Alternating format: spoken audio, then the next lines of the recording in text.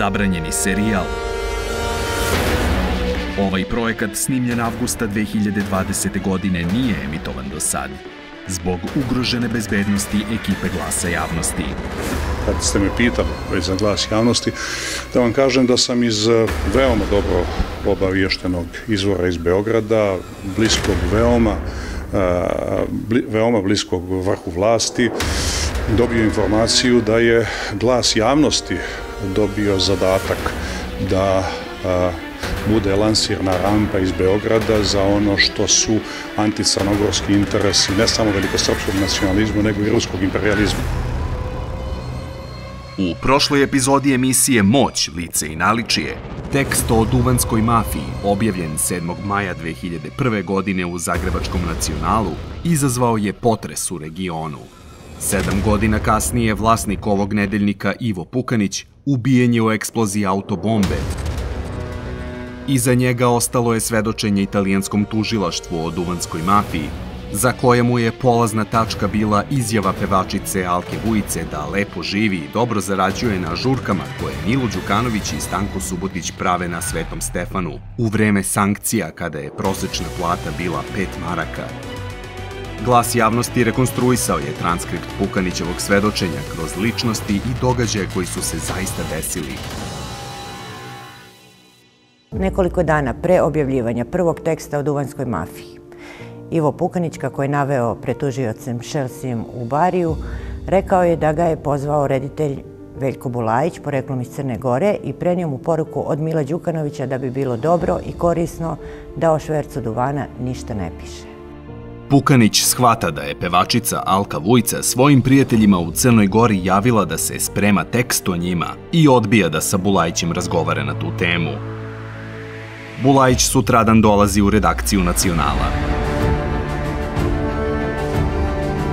Milo me preklinje da nađem način da se ne objavi nikakav članak zato što bi mogao da šteti ili pogorša situaciju u Crnoj Gori.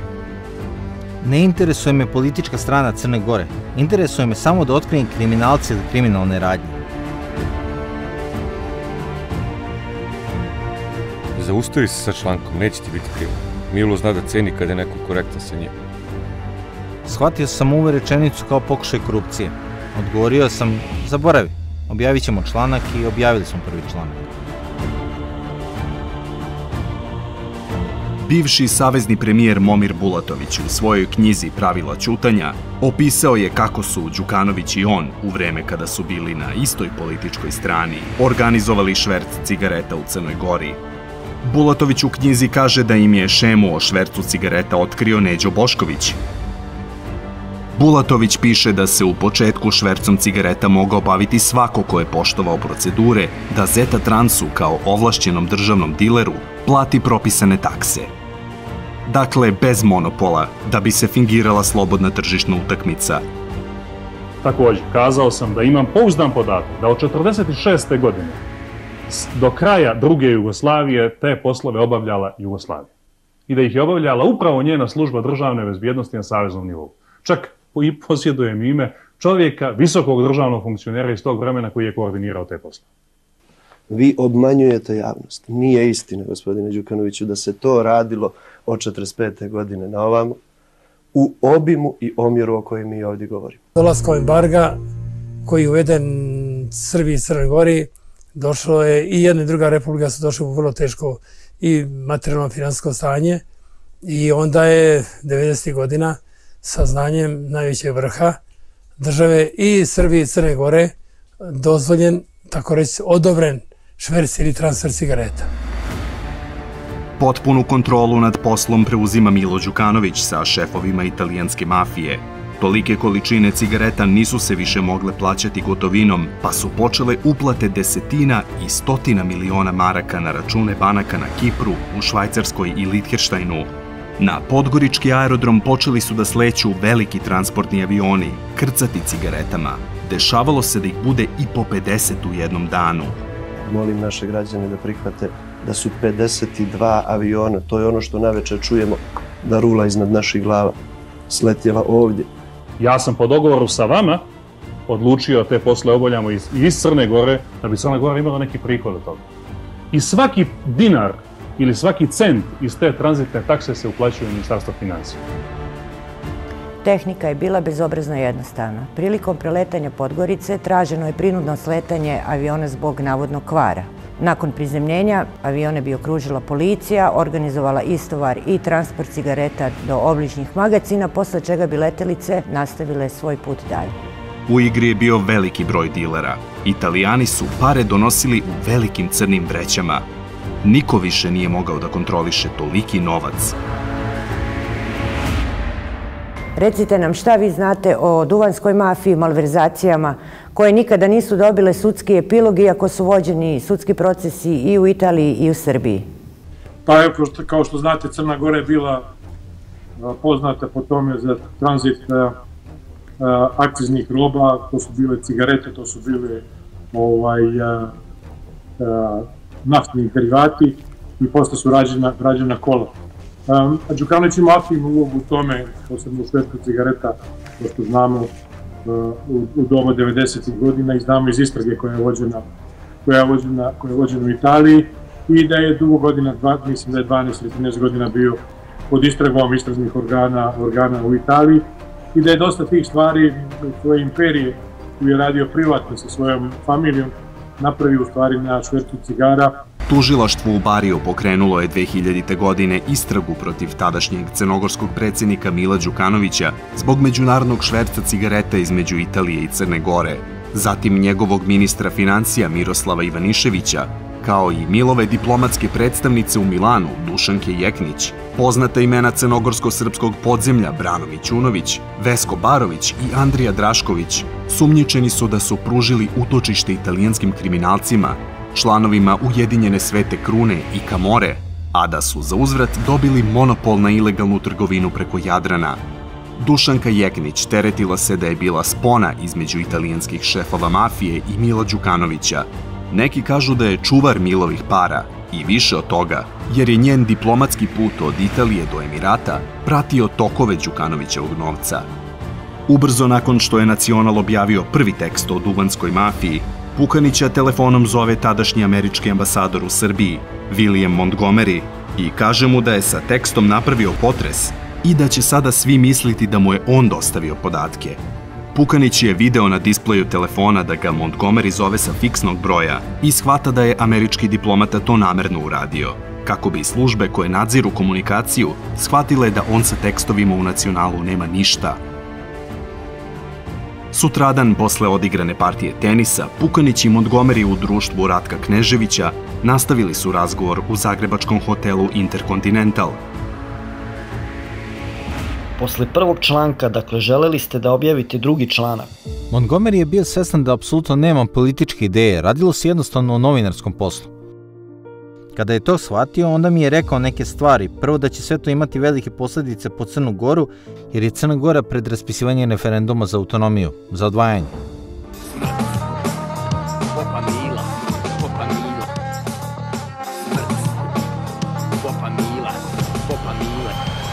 Onda sam mu se obratio govoreći, nemoj mi reći da ne znaš ko je Đukanović. Nasmejao si i rekao, nažalost, Možda smo shvatili malo suviše kasno kakva je vrsta kriminalca postao. Znali smo da je bio umešan u dešavanja sa švercom, ali mislili smo da će se zadovoljiti sa 5 ili 10 miliona dolara u džepovima. Po ovome što znamo, ona sa svojim računima rasutim po svetu ima 130 miliona dolara. To je ono što je Montgomery rekao. Da. Prilikom prodaje ostrva Sveti Marko u Tivtu je napravljen dil da će ruski oligarh Mihajl Slipenčuk moći da kupi ostrvo. Samo ako se na privatni račun Mila Đukanovića uplate 23 miliona evra da bi se dobila urbanistička dozvola za gradnju luksusnih hotela i vila. Pristalo se na ponudu ili na ucenu, pa je napravljen dogovor da se milionski iznos uplati na račun Kuc banke u Ženevi. Kuc je privatna banka engleske kraljevske porodice, u kojoj se račun može otvoriti samo onda kada se položi gotovina od pola miliona funti, plus 10 miliona evra u nekretninama. Đukanovićev račun u Kuc banci otvoren je na ime kompanije Samuelson Corporation sa Seychella. Teško je proveriti koliko novca ima na računu 11068891.2000 jer takvu vrstu diskrecije pruža ova eminentna banka. Aranžman za takozvanu proviziju od 23 miliona evra ispred Kuc banke nadgledala je Vanda Farkaš, na čiju su preporuku angažovani pravni eksperti Kalojan Stojanov i Fabijan Boson iz advokatske kancelarije Ilex Trust Service. Oni su angažovani zbog osetljivosti transakcije i bezbednosti učesnika u ovom poslovnom aranžmanu. Ostrvo Sveti Marko danas bi bila verovatno ekskluzivna destinacija svetskog jet seta, ali bez urbanističkog plana, obećanog za 23 miliona evra, nije se moglo krenuti sa gradnjom. Na pomenuti račun u Kuc banci uplaćeno je 16 miliona evra, onih sedam nikada nisu plaćeni. Nekoliko godina kasnije, jedan poznati biznismen, involviran u prodaju ostrava Sveti Marko, samo pukom srećom preživao je oružani napad. Da li je obarač povučen zbog spornih 7 miliona evra koji nikada nisu legli na račun banke u Ženevi? Dakle, imate jedan stan, ništa na računu, i ujedno to malo paradoks? imam standard koji mi obezbjeđuje da mogu da mogu da zadovoljim nešto su moje potrebe. E, e, sjutra takođe kada se budem bavio biznisom i kada budem zarađivao onoliko koliko zaista mislim da moje znanje vredi na tržištu, to danas nije slučaj. Takođe ću e, veoma malo investirati u nekretnine, a potruditi se da obiđem još neke destinacije u svijetu koje nisam obišao, da živim kvalitetno sa svojom porodicom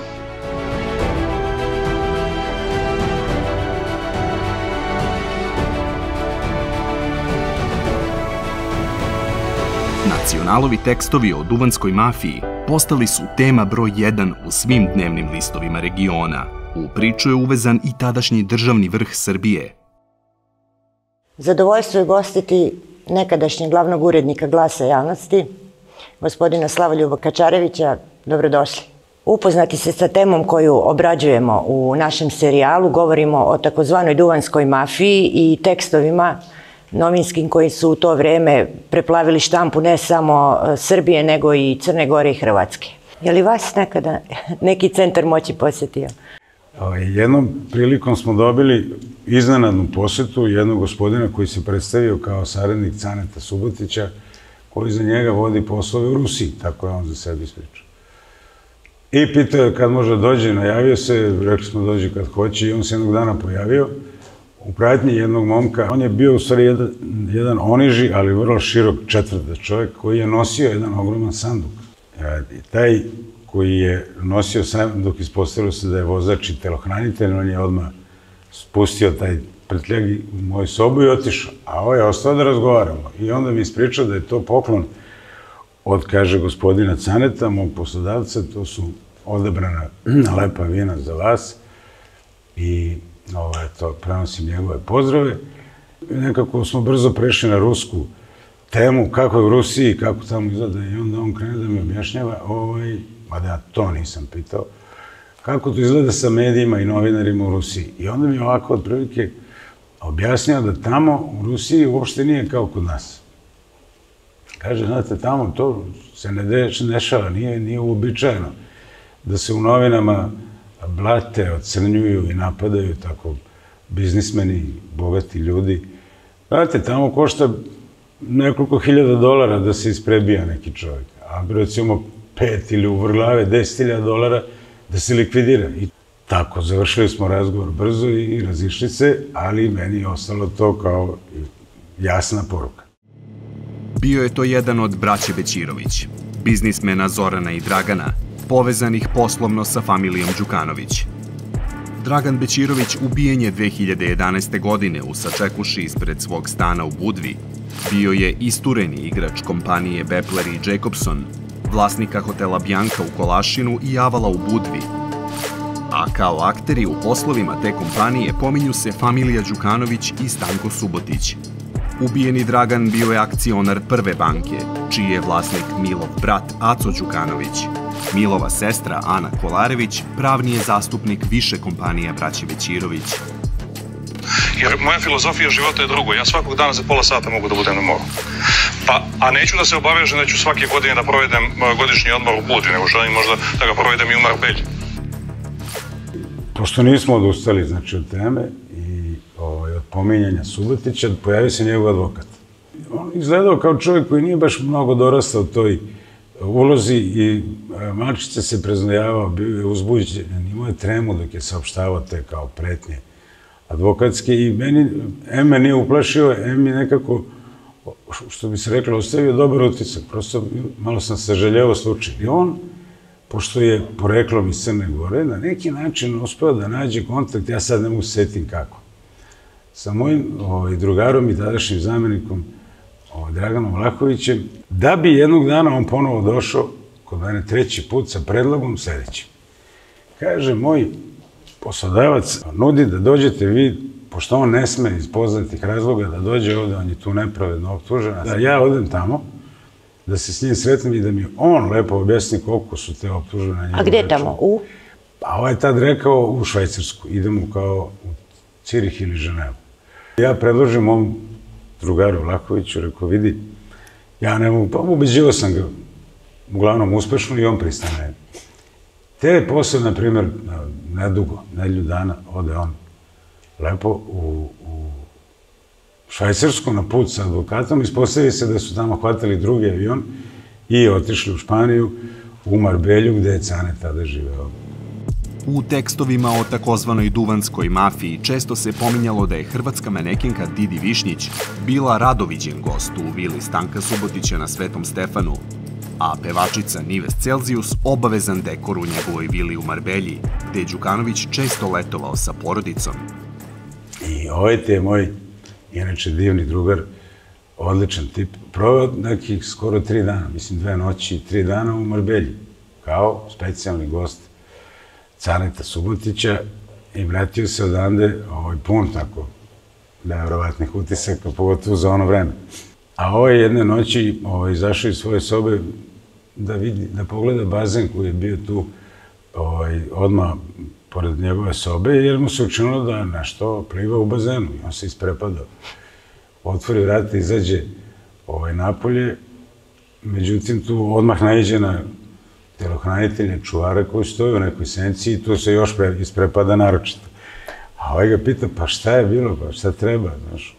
On kaže, pa nešto bre, pliva u bazenu, čovječe, ima nešto u ovom mraku. Ovaj kaže, pa ima, naravno.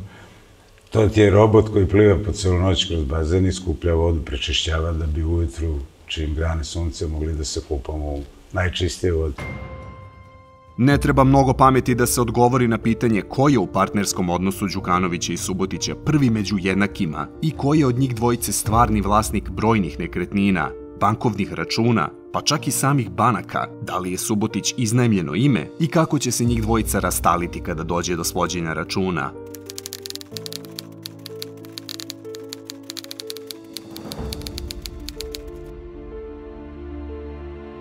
Iz razgovora sa Montgomerijem, Pukanić saznaje da su imali više od 300 sati razgovora presretnutih između Đukanovića i Subotića.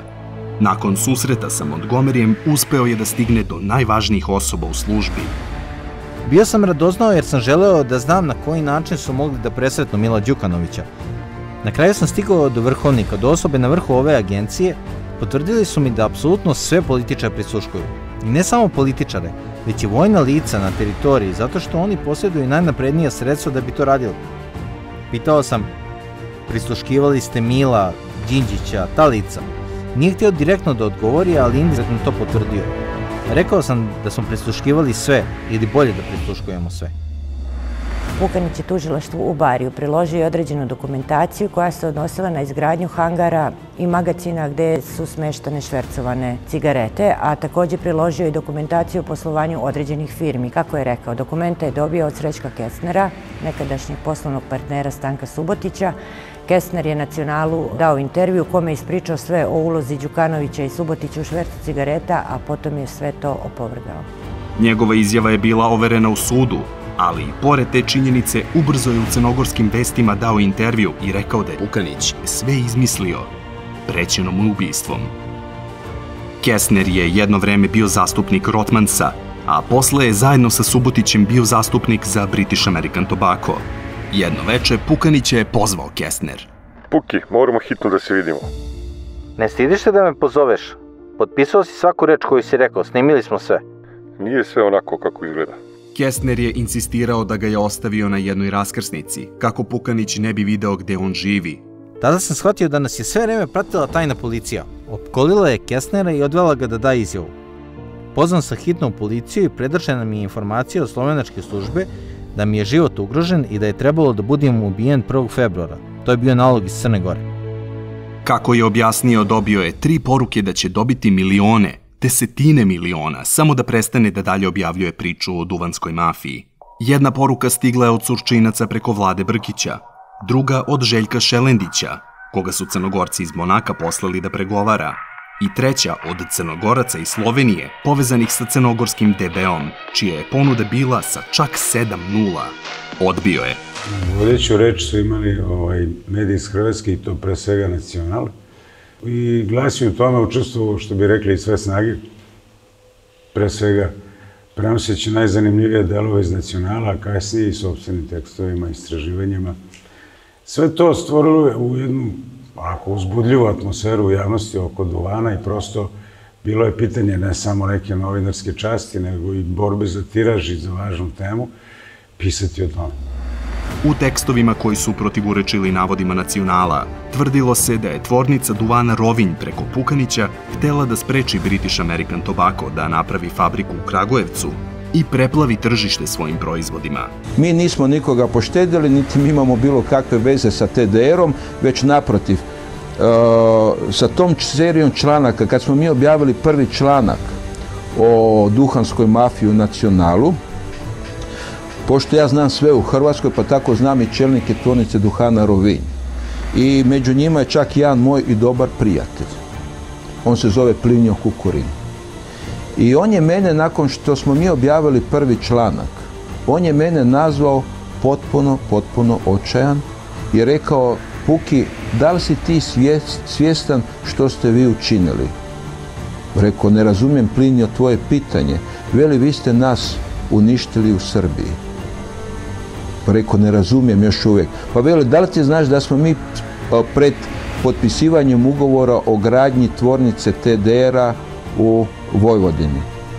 I ovaj članak će izazvati to da će centralna vlast u Beogradu 100% nama to zabraniti jer će misliti da mi iza toga stojimo, a ja nisam imao pojma da vi išta takoga spremate. Srpsko-hrvatski duvanski rat, zbog koga je i u Skupštini Srbije i u Skupštini Crne Gore čak bio formiran i anketni odbor koji je trebao da ispita navode o švercu duvana, zaustavio se krvavo i naglo jednog jutra 11. marta 2003. godine kada je ubijen srpski premijer Zoran Đinđić. Are you afraid for your life? Uh, seriously not. Although I have I have some some uh, I, I took some measures to to to increase my my uh, security. I have some some signals. Uh, I don't know. What, what kind of signals? Organized crime. Uh, this drug uh, uh, and, and, cigarette smugglers. And they want to kill you. Yes, probably.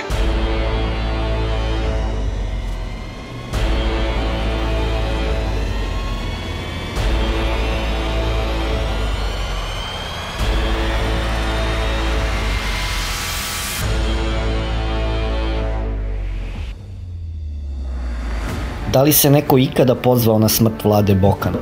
Pričao mi je Kesner o njegovoj smrti. Kesner mi je rekao posle objave prvog članka u Beogradskim novinama Nedeljnih telegraf. Izašao je intervju, ne sjećam se imena, sa osobom povezanom sa Subotićem. Smisao je bio da neće dobro proći. Bila je to pretnja upućena preko novina. Tri dana kasnije, taj čovjek je ubijen. Baja Sekulić. Da, Baja Sekulić.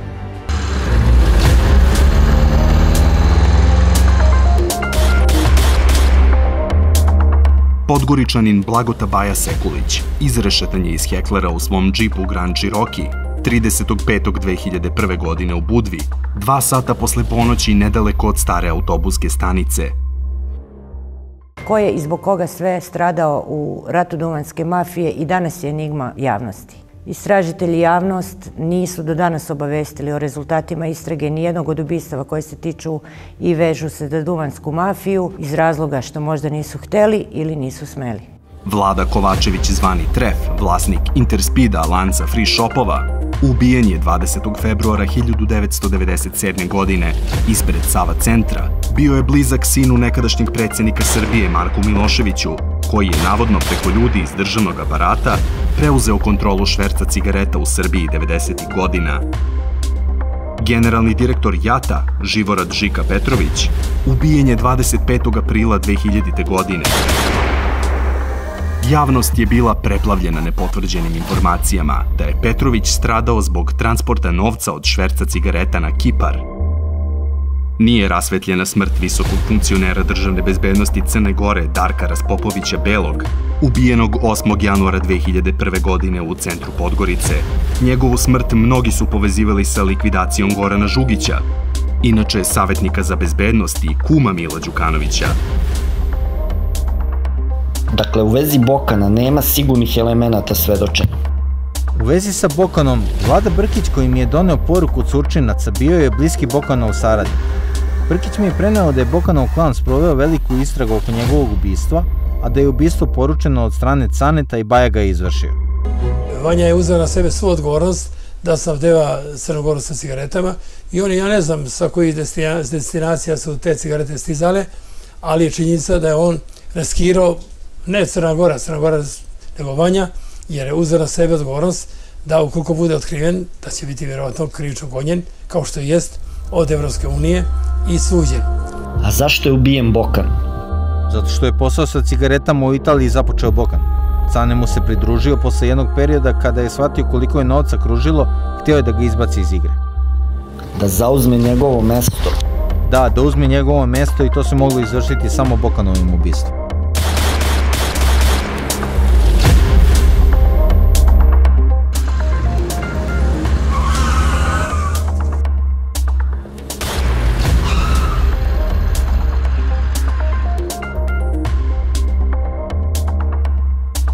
Gospodine Đukanović, imam obavezu i zbog sebe i zbog redakcije dana da vas, da vas pitam ko je ubio Duška Jovanovića? A, a... U sledećoj epizodi emisije Moć, lice i naličije saznajte kakva je veza crnogorskog državnog vrha i ubistva novinarke na Malti. Zašto je crnogorska vlast rasplamsala rat narkoklanova? Ko je Bog u Milovoj crkvi? Kakva je veza između Mila i upravnika Golog otoka Jova Kapidžića. I vlast ima svoj kraj, zar ne?